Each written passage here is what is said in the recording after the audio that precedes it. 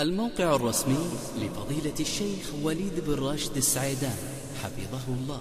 يقدم. السلام عليكم ورحمة الله وبركاته. تقول السائل أحسن الله إليكم أن أغلب أبنائها بنات. تقول وأريد أن أسأل عن حكم تحديد جنس الجنين. فما حكم هذه العملية؟ الحمد لله رب العالمين وبعد.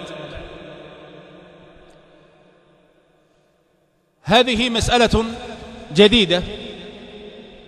مسألة جديدة في الطب. وقد اختلف فيها العلماء المعاصرون. ولكن القول الأقرب عندي إن شاء الله أنه لا بأس به إذا روعيت فيه الضوابط الشرعية. فإنه لا حرج في تحديد جنس المولود إذا روعيت في ذلك إن شاء الله الضوابط الشرعية.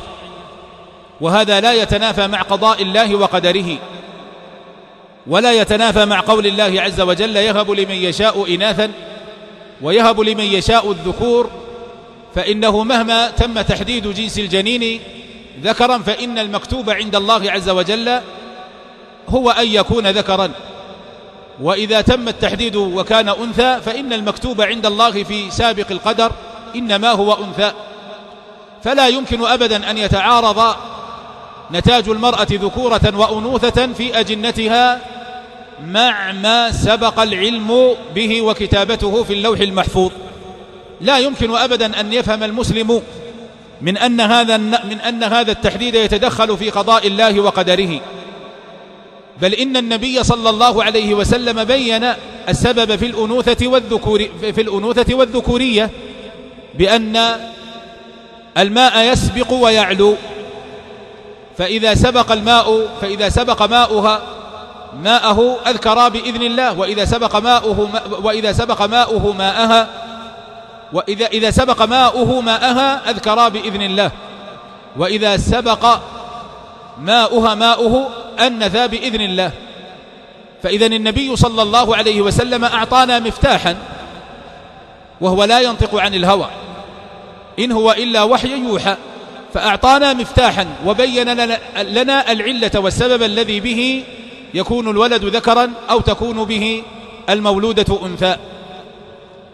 فإذا تدخل الطب بحسب ما آتاه الله عز وجل من المكتشفات الحديثة والمخترعات التي يخرجها الله عز وجل لعباده فتدخل الطب في شيء من ذلك وجعل ماء هذا يسبق ماء هذه أو ماء هذه يسبق ماء هذا وحصل ما أخبر به النبي صلى الله عليه وسلم فلا يعتبر ذلك تدخلا في باب الغيب ولا تدخلا في قضاء الله عز وجل وقدره.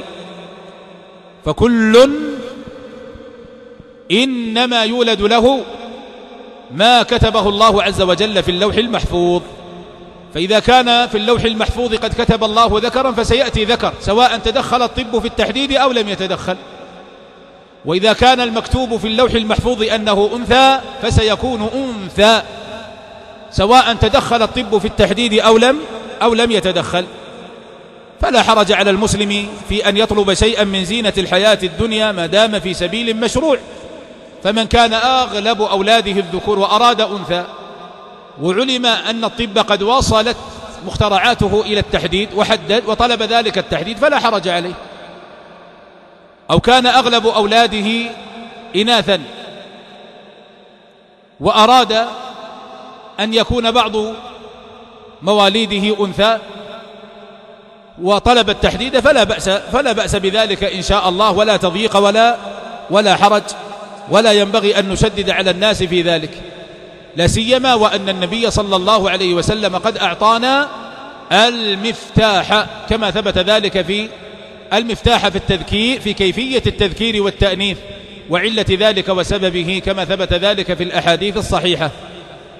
فالأقرب عندي أنه جائز لا بأس به.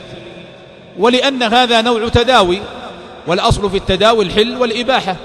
ولأنه شيء والأصل في الأشياء الحل والإباحة إلا بدليل يحرمها والله أعلم.